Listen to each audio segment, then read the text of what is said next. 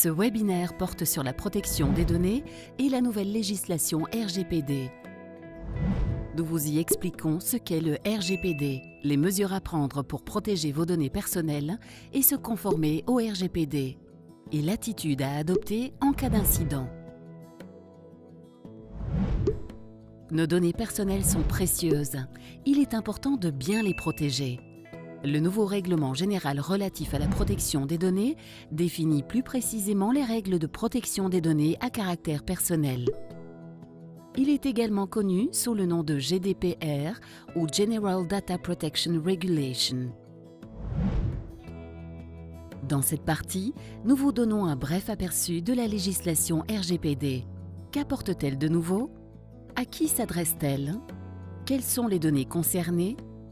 Que signifie traiter des données? Comment dois-je protéger les données? Quels sont les risques que j'encours? Comment agir avec les sous-traitants en cas d'incident? En tant que dirigeant d'une PME, je sais que les gens s'attendent à ce que mon entreprise traite leurs données personnelles avec le plus grand soin. Ils me les confient. De plus, je me dois, comme toutes les autres entreprises, de respecter la loi les principes contenus dans le RGPD ne sont pas neufs. Ceux qui respectent la loi belge relative à la protection de la vie privée disposent déjà d'une base solide pour mettre en œuvre le RGPD. Qu'est-ce que le RGPD apporte de nouveau et de quoi faut-il tenir compte en particulier? La législation introduit spécifiquement le droit à la portabilité des données ce qui signifie que les propriétaires de données à caractère personnel disposent d'un plus grand contrôle de leurs données. Par ailleurs, le RGPD est clair en matière de responsabilité. Nous y reviendrons plus tard. Il prévoit pour la première fois une protection spéciale pour les données relatives aux enfants et renforce le pouvoir des autorités de contrôle. À qui cette législation s'applique-t-elle? Le RGPD protège les données personnelles de tous les citoyens de l'Union européenne. La loi s'applique donc à toutes les entreprises traitant des données personnelles de citoyens européens, même si elles sont établies en dehors de l'Union européenne. Quelles sont précisément les données protégées par la loi? Toutes les données liées directement ou indirectement à une personne identifiable. Outre le nom, il s'agit donc également des données suivantes. Une adresse, tant physique qu'électronique telles qu'une adresse e-mail ou une adresse IP, d'autres identifiants officiels tels qu'une plaque d'immatriculation, un numéro de compte bancaire ou un numéro de téléphone, certaines caractéristiques et habitudes personnelles telles que la composition de ménage, la religion ou l'orientation sexuelle, et d'autres données, par exemple certains de nos achats ou nos déplacements. Ce point reste plutôt abstrait. Qu'est-ce que cela signifie pour mon entreprise? En fait, la plupart des PME traitent de nombreuses informations personnelles. Les données du personnel comme leurs coordonnées, leur composition de ménage, leur salaire, leur numéro de compte bancaire et diverses informations de carrière. Les clients et fournisseurs partagent aussi des informations confidentielles avec vous comme les achats, les budgets, etc. Citons encore les données des visiteurs qui sont traitées tant physiquement que virtuellement. S'ils se connectent sur le site internet ou lorsqu'ils visitent un bureau, ils laissent ces données derrière eux. Dès le moment où nous demandons ces données personnelles, nous sommes en réalité déjà en train de les traiter. Par traitement des données, la loi entend la collecte, l'enregistrement ou la conservation, la modification, la consultation, l'échange et la suppression. Le RGPD a pour objectif de protéger toutes ces données. Pour me conformer à cette législation, je dois donc veiller à ce que des données personnelles ne tombent pas dans de mauvaises mains ou soient utilisées pour nuire. Je dois également vérifier que des données personnelles ne soient pas modifiées sans mon accord. Je veille à ce qu'elles ne soient pas conservées plus longtemps que nécessaire. La législation impose souvent que je demande l'autorisation des propriétaires de ces données avant de les traiter et que je les informe de ce que je vais en faire. Je m'assure que les propriétaires peuvent facilement transférer leurs données vers un autre organisme de traitement. En cas de perte ou de vol de données, je dois le signaler aux personnes concernées et à l'autorité de protection des données, antérieurement Commission vie privée. Que faire si des sous-traitants traitent des données? Nos sous-traitants doivent aussi respecter la loi, comme par exemple le secrétariat social, des partenaires IT responsables de l'hébergement, du réseau, de la sécurité et des applications Internet, des consultants qui traitent des données personnelles pour mon organisation, etc. C'est notamment en concluant des contrats bien ficelés que je peux protéger les données personnelles. Quels sont les risques que j'encours? Si je ne respecte pas les règles, je m'expose à une sanction qui peut être un avertissement, mais aussi une amende administrative pouvant atteindre jusqu'à 4% du chiffre d'affaires. Vous risquez même de vous voir interdire de traiter des données. Si je ne protège pas suffisamment les données personnelles, je risque de mettre l'entreprise en grosse difficulté. Cela peut nuire à l'image de l'entreprise et faire fuir les clients.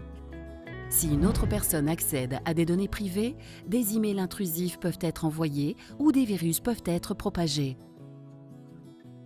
À terme, cela peut même mener à la faillite. Le respect de la loi va donc bien au-delà de l'éventuelle amende. On peut cependant éviter tout ça. Si vous suivez bien les étapes énumérées dans la partie 2, il y a peu de risques que vous subissiez ces conséquences désastreuses. Dans la partie 2, nous examinons comment je conforme mon entreprise à la législation RGPD et protège ainsi les données personnelles. Nous verrons comment je distribue les rôles et les responsabilités dans mon organisation, comment j'identifie des données personnelles, comment j'enregistre les traitements et comment j'informe mes collaborateurs. Lorsque j'attribue les responsabilités et que je détermine les rôles, je choisis un responsable du traitement des données qui identifie tous les traitements de données et en contrôle le processus. Il est conseillé aussi de désigner un délégué à la protection des données ou en anglais un Data Protection Officer DPO qui pourra entrer en relation avec l'autorité de contrôle, la fameuse autorité de protection des données, antérieurement Commission vie privée. Le DPO veille à ce que mon entreprise et le système informatique soient compatibles avec le RGPD et le reste. Les entreprises qui traitent des données sensibles telles que des données médicales ou qui traitent des informations à grande échelle sont obligées de désigner un DPO. Enfin, je désigne aussi un responsable de la sécurité qui suivra les normes de sécurité minimales requises en fonction de la taille de l'organisation, une seule personne peut assumer plusieurs rôles ou plusieurs personnes peuvent partager un même rôle. Ce rôle ou cette responsabilité peut aussi être confié à un sous-traitant ou à une personne externe. Une étape importante pour sécuriser des données consiste à me mettre au courant de toutes les données dont je dispose. C'est pourquoi j'identifie les données personnelles pour en dresser l'aperçu. Ce n'est pas simple de dresser un aperçu des données personnelles que nous conservons, de leur provenance et des personnes avec qui elles sont partagées. Je prends donc mon temps et veille à être le plus complet possible.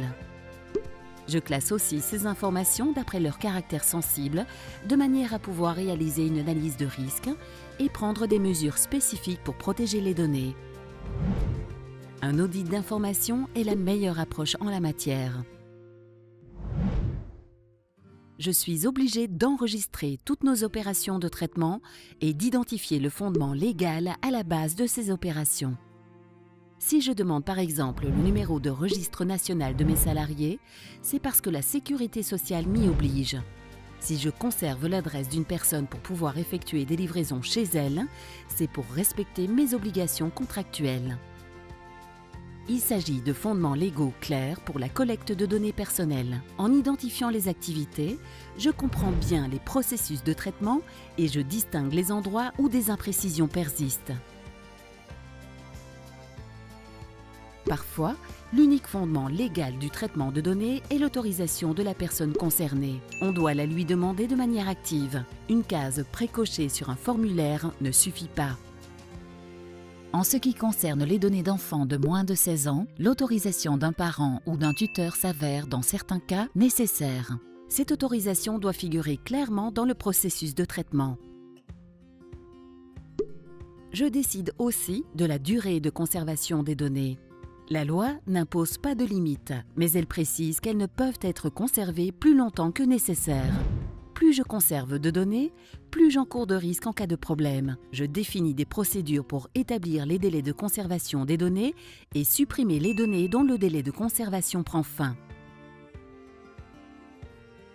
Afin de communiquer clairement sur la façon dont je traite des données personnelles, je rédige une déclaration de confidentialité univoque et facile à obtenir. J'y explique aux personnes concernées ce que je fais de leurs données, le fondement légal sur la base duquel je traite les données et combien de temps je les conserve. Cette déclaration mentionne clairement comment une personne peut demander ou contrôler ces informations et comment déposer plainte auprès de l'autorité de protection des données.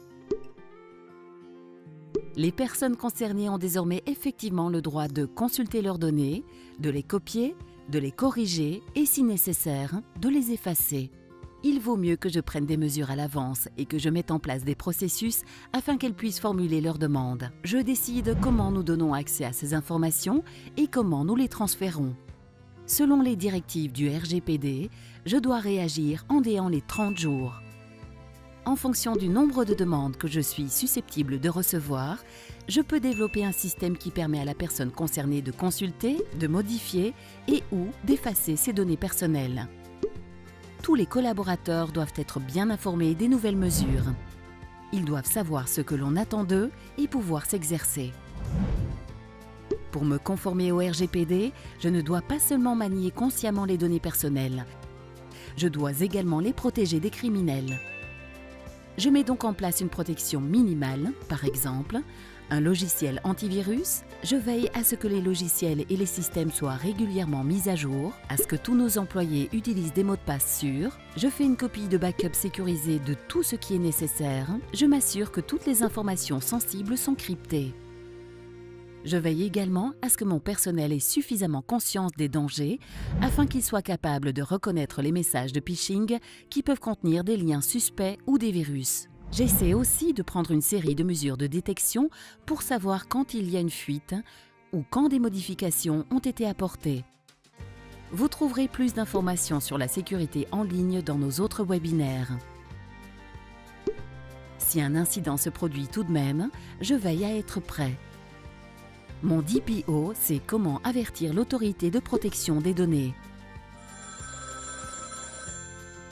Si ma PME dispose d'établissements à l'étranger, je dois déterminer où son siège principal se situe afin de choisir l'autorité principale. Si un incident grave survient, je dois contacter l'autorité dans les 72 heures pour respecter le RGPD. En cas d'incident grave, les propriétaires des données personnelles peuvent subir des dommages. Dans ce cas, je dois les en avertir. Il est préférable que je réalise un exercice de ces procédures de crise à l'avance et que je prépare des modèles de messages à envoyer. Pour plus d'informations à ce sujet, regardez la série de webinaires sur l'attitude à adopter en cas de cyberincident.